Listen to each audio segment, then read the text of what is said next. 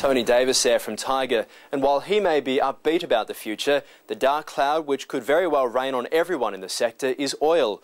For the first six months of this year, the cost of jet fuel spiraled from around 100 US dollars a barrel to just under 175. Cost increases like that can only be absorbed for so long before being transferred to passengers. Since the beginning of 2008, jet fuel prices have soared 72%. We're preparing for an industry changing event as airlines warn of higher prices and lower financial results to cope for fuel, we do have to have our average fares increasing. And the airlines have been adding fuel surcharges and increasing airfares when they can at peak times, at peak demand times, on peak days in order to achieve that. We think the, these $150 uh, prices for oil are really hard to explain. And, and in our medium term plans, we have them setting, setting back down at 110. That said, that's still higher than where it was a year ago. But airlines are warning the fare increases still aren't enough to cover their costs. The IATA represents over 240 carriers worldwide. In 2007, its members made a profit of 5.6 billion US dollars. This year, it's predicting a record loss of 6.1 billion. In Australia, our main carriers have seen a massive dip in their share prices. It's affecting personal fortunes too. Virgin Blue's CEO Brett Godfrey has seen his own personal wealth drop by over $50 million in 12 months. Aviation journalist Geoff Easdown says the reason is oil. I think it's simply because of the rising fuel prices. They'll come back and, and they'll come back when things turn around. But for now, the Qantas Group has seen a 120% jump in its fuel bill from 17% of overall costs in 2004 to 29% in 2006, and it's expecting fuel to reach 40% of its total costs for 2008. That's forced a big change in the way the company operates. One advantages that we have in the Qantas group is that we have both players in the game. We have a full service carrier with Qantas Airways and we have a low cost carrier. And we have the flexibility that most carriers around the world don't have. Uh, we can flex one or the other depending on the market circumstances and how the market reacts. Qantas is pushing ahead with its $35 billion new generation fuel efficient aircraft plan. Jetstar is taking delivery uh, in 12 months' time of the 787 Dreamliner. Now, that's a, a lighter plane. It uses something like 20% less fuel. So, what's causing the rise in the cost of aviation fuel? It's tied to the price of crude, which is being impacted by supply and speculation. I think it's probably a little too simplistic to argue that it's strictly speculators or strictly fundamentals alone.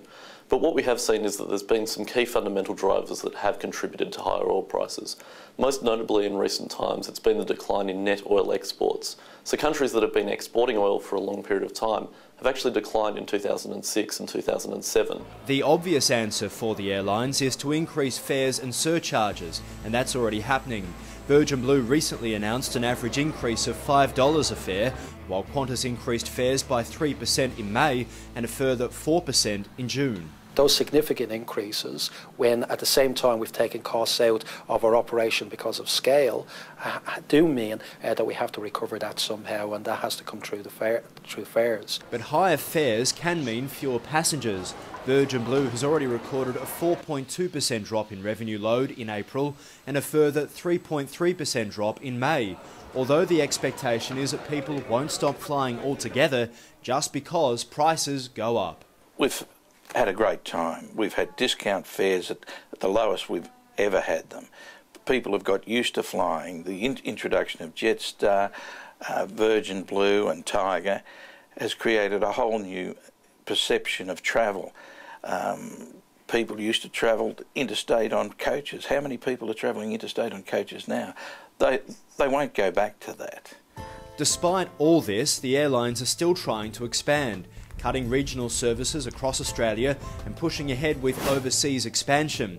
For Jetstar, it's Vietnam, while the Open Skies Agreement has opened the way for Virgin's V Australia to fly to the United States. Coming up on State of the Airline Industry. Sydney Airport really had capacity issues. Uh, we know that that's the case. The Federal Transport Minister's outlook and it's been tremendously successful. Carving a niche and proving the second airport theory really works in Australia.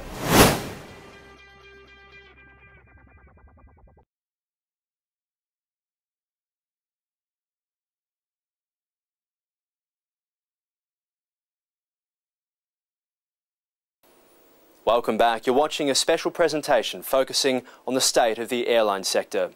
It's been more than six years since the collapse of Ansett and what truly was a collapse of an Australian icon. At the time, fingers were pointed in every direction management, the government, owner Air New Zealand, and the unions. The question now is whether the industry has learnt enough to make sure it doesn't happen again. They were different times before the Second World War when the Fokker Universal monoplane took off from Hamilton in Western Victoria to become Reg Ansett's answer to the Victorian government's road transport legislation. He decided, well, he'd get around the problem by uh, buying an old plane and and running the running the people by air. And it was a three in those days. It was a three-hour trip from Hamilton in Victoria to, up to Essendon Airport. The business was floated, the routes expanded, and over six decades, Ansett became Ansett Australia, taking on TAA and becoming one half of the country's airline duopoly.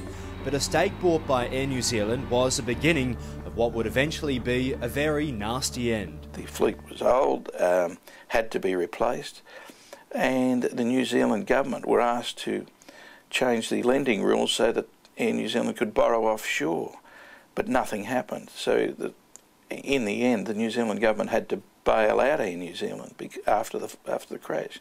So there was a lot of hurt that shouldn't have happened. Two days after the sector was struck by the September 11 attacks, Air New Zealand placed Ansett Australia into administration. Just devastated. Believe us, 16 years ago. Believe me, this was just the best thing in the whole wide world. It has been, and then it's just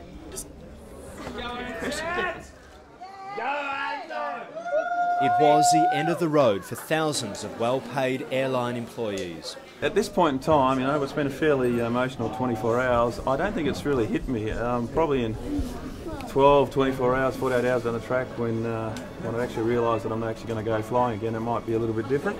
So what caused Ansett's collapse and what has the industry learned? Aviation journalist Geoff Easdown wrote the book on Ansett's collapse.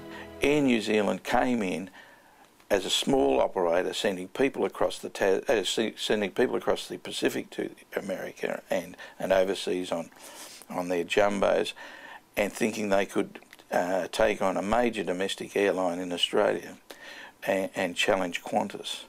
Well, Qantas have been around for a long time, and by trying to undercut Qantas on on uh, their business business deals and business contracts.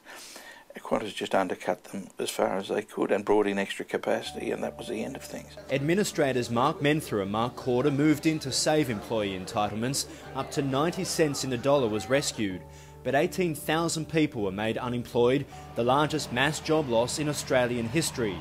Six years later, and the memories of Ansett's collapse still haunt the industry. You have to act fast on your feet, you have to be able to adapt, and you have to, be able to move forward. And I think it is survival of the fittest, and, it's, and, and it is the evolution of carriers that if you don't um, manage your business and be willing to change and willing to make hard decisions, you may not survive. And I think we're all very conscious of that. And looking at what Ansett did, they were inactive for a large period of time, didn't do make the right decisions uh, to make sure that the business was efficient, um, lean, mean, and organised to cope with that type of environment. And I think that's the biggest thing that we would take out of that experience.